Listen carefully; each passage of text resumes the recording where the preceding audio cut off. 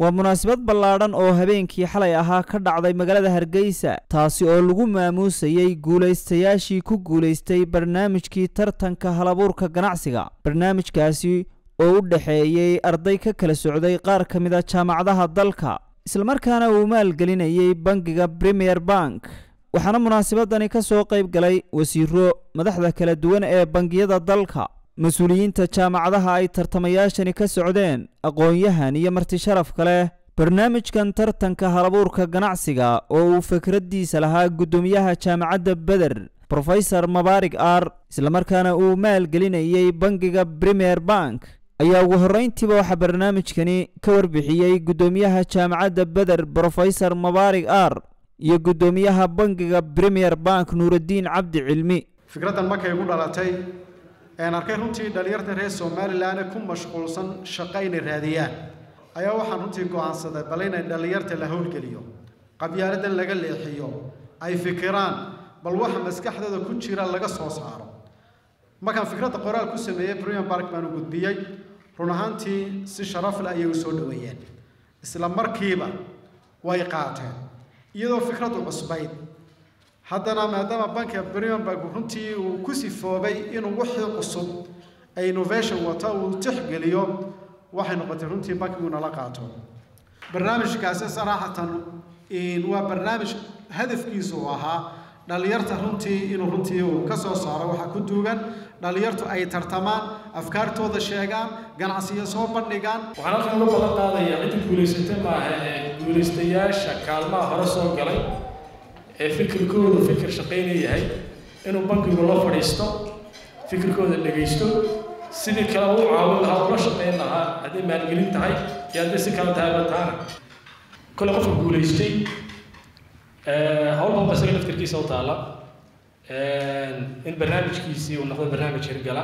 Marka qofka fan loo dhiibo fankii in la maamulo u baahan yahay. Marka kole si tadriijiya ayaanu jecel nahay annagoo ka taageerayna wixii technical iyo aqoonaba anba qaadno ganacsigiisaas. Inaanu barbilowga ilaa bardhamaadka si practicala businesskaasi siduu hirgalay. Aynu xataa maaragtay muuqaalo kale xataa aynu ka sameyno taasoo markaa u noqoto tusaale xataa barnaamijyada dambe si ay maaragtay markuu sanadaha dambe soo bandhigayno aynu isu tusno wixii hore la qabtay iyaga laftarkooda halkay mareen. Geesta kalena aqoon-yahankii kala saarayey tartamayaashan ayaa dhankooda iyana halkaasi warbixino ka jeediyey.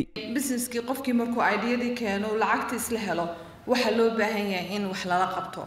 Marka waxaan doonayaa in premium bank inay ku daraan in ay siiyaan talooyin. Marka runtii waan bogaadinayaa qolada maanta heshay. Waxaana leeyahay waan u ducaynayaa ilaahay businesska ay ku soo biireen inuu uga dhiga mid u barakooba waxaan uga digayaa dadka lacagaha haysta inay dhallinyarada afkaarta qurux badan la yimi ay afkaartooda intay lacag qaataan ay fuliyaan. Dhiirigelin iyo bogaadin aada iyo aada weyn oon u soo jeedin lahaa bankiga premier bank. Mubaarak ar aan aada ugu hambalyeyn lahaa waxa uu soo kordhiyey keliya ma ahan in labaatan qof la tartansiiyey waxaad mooddaa inuu dib u soo nooleeyey ruux ku abuuranta dhallinyarta inuu iskii u fikeri karo. Guddoomiyaha baanka dhexe iyo wasiiro ka socday xukuumadda ayaa iyaguna barnaamijkani qayb ka ahaa. Sanadka dambe insha allah aniguna waan ku qayb qaadan doonaa. Markaa sanadka dambe insha allah aniguna bartuuga ayaanu jaatisi doona insha allah waanay ammaanan yihiin waan bogaadinayaa premier bank iyo qofka ku guulaystayba waxaan u mahad celinayaa mas'uuliyiinta qiimaha badan ee premier ban waxaan sidoo kale u mahad celinayaa profesorka da'da yar ee isagu ay maskaxdiisa ka soo maaxatay arrintan qiimaha badan ee aynu madashan isugu nimi. Aqoon-yahanka iyo culimada fikirkooda iyo intuu ilaahay wax siiyey. Haddii intaas isu tagaan horumarku u soo dhawaada imanka waynu leenahay labadiiba laakiin labadii baynu isla laabnay laakiin maanta premier bank bayna tusay inaynu isla heli karno ugu dambayntiina guulaystayaashii barnaamijka ku guulaystay oo kale ah axmed budul maxamed iyo nuux khadar cali ayaa dareenkooda la wadaagay warbaahinta waxaan